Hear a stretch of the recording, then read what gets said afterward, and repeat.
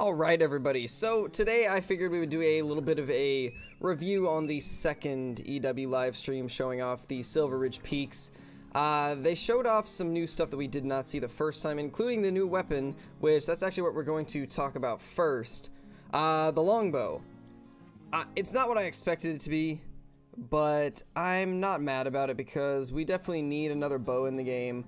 Uh, we have the recurve, we have some compounds, we have a crossbow, but we didn't really have a like traditional longbow so I'm kind of okay with this. Uh, they did add some new arrows to go along with it so that's gonna be really cool because now the recurve bow will have three different arrow types instead of just one which will make it a lot more versatile and you'll be able to get diamonds of pretty much every species in the game. So that is absolutely awesome. I'm super happy with that. Uh, the next thing I want to talk about is the turkey need zones. Now, supposedly they have removed uh, well, according to TK, 80% of drink zones. I'm not sure what that is supposed to mean, but hopefully it'll make the turkey hunting a little more realistic because it was not exactly the most realistic with zones. I, I feel like with turkeys, it removes the fun if you can just go to a need zone and shoot them all with a 22.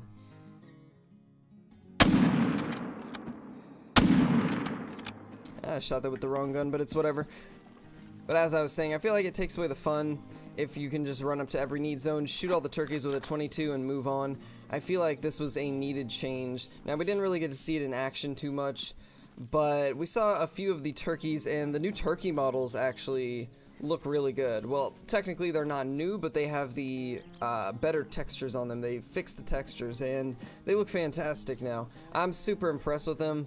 Uh, I hope that we get to see a little bit more of them before the release but I'm not exactly sure if they're going to do another live stream before release because as of now they have, have not given us a release date so it could be at any time really. But if they do another uh, EW live stream I really hope that they show off the turkeys a little bit more because we only saw a couple today. Alright so now I kind of want to touch on the the ability to use the 22 on turkeys. Now I I personally don't feel like you should be able to, but I get why they did it. It's it's to do with the balance and the system that they already have. Uh, turkeys are class 1, so they can't just change a weapon class for one species, you know. If they were to make it so 22s could not be used on the turkey, then it would make it so they couldn't use the 22 on other bird species too, and even the rabbits because they're all a class 1. They'd have to completely rework their class system which I can see how that would be a pain to do. So I'm okay with them being able to use the 22 on the turkeys just because uh, it it's a lot of work on their end for them to be able to separate the 22's usability on different species that are the same class. It it's not as easy as you guys might think. The next thing I kind of want to talk about is the Rocky Mountain elk models. Now, they they look pretty good for the most part they did mention that uh, the models might have a couple little issues. Potentially, the Corgi elk is back, which, if you guys don't know what that is, it's basically when you'd shoot them, they'd kind of like scrunch up and make them look smaller. Uh, but basically, it was looking like that, that was happening with the Rocky Mountain elk. We're not sure if that actually is what was happening, but it looked like it from what we could see. And I'm not actually sure why I went to that lake. That is not a whitetail lake at all. But TK said that they would look into that, so hopefully they get everything there sorted out. Overall, the Rocky Mountain elk look pretty good, and I'm glad that we got a better look at them. We were able to see some different racks that we didn't see in the first stream, and we were also able to see the models a little bit better. But I knew something seemed off the in the last EW live stream with the elk because for some reason the bodies just looked a little scrunched up, the necks looked too fat. I'm, I'm glad that they at least noticed that. Like, they at least acknowledged that there was maybe something a little off with the necks on them, and hopefully that gets sorted out. Uh, because with the necks fully extended, they look really good, but it's just that bug where they scrunch their necks up that makes them look weird. That's actually a decent level 4, and we got some whitetail right here. We're gonna go ahead and get closer and take these guys out. Uh, but anyway, the last thing that I want to talk about is the bighorn sheep models they finally showed off some bigger bighorn sheep, and they actually look really good. I'm super excited about them. uh, it, it, raised my excitement for the Bighorn just a little bit more because they do actually look different than the Mouflon. It's not just a complete copy-paste, as a lot of people were expecting. They actually look completely different, which is super nice. And I'm really hoping that they're going to be insane for the diamonds. Because the level 4 that they showed looked pretty nice. I'm super impressed with it. And wait a minute, was that... That...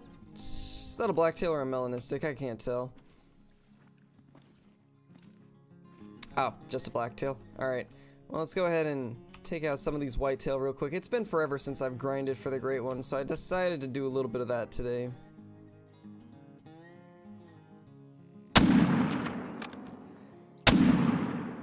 Wow, that lag was insane.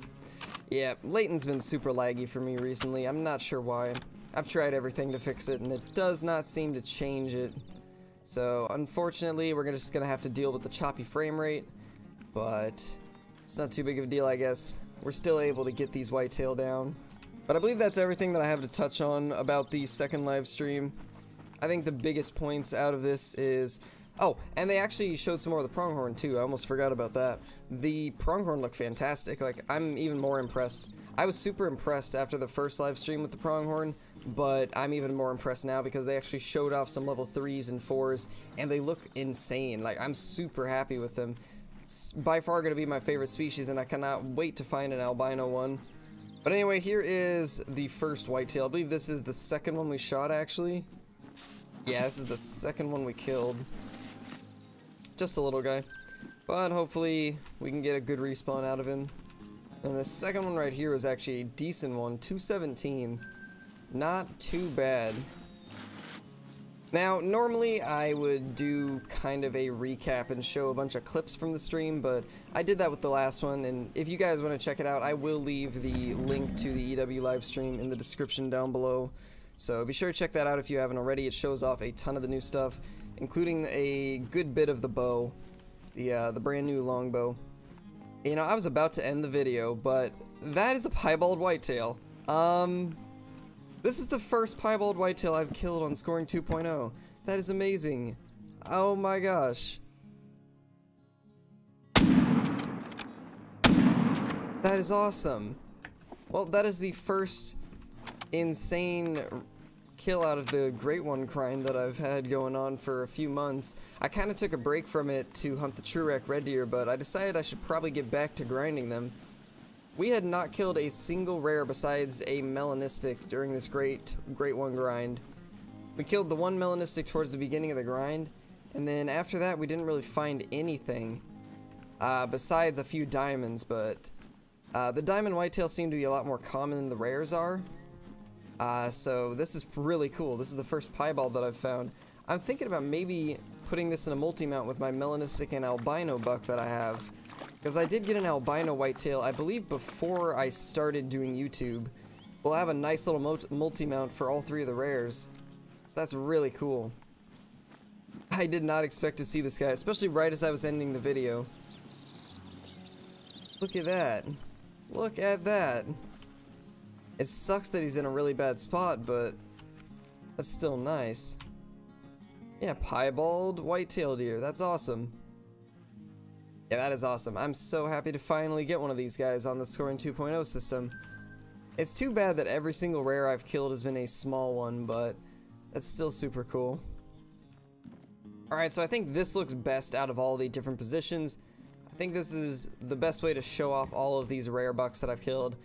So this is where that piebald is, and I put this 291 whitetail that used to be in the multi-mount over here on the wall next to our diamond blacktail. Alright guys, well that will be it for this video. I hope everybody enjoyed. If you are not already subbed, be sure to subscribe. It helps me out a ton. And if you guys want to help out even more, be sure to leave a like on the video because it will help push my video out to other viewers. But, I hope everybody has a fantastic day. Peace, my dudes.